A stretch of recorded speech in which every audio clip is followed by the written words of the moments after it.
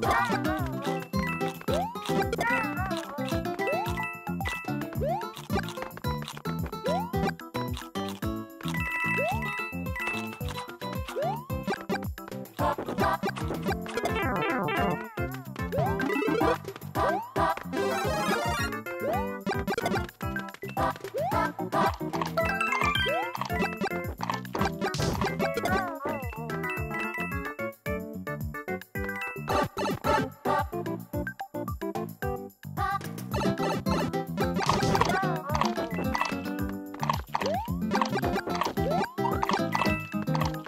Pop,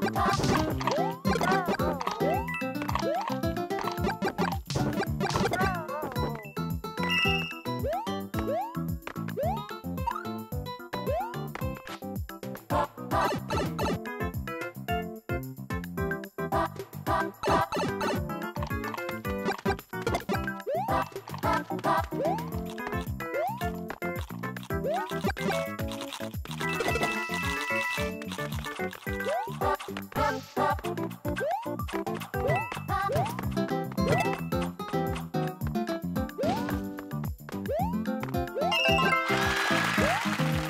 Oh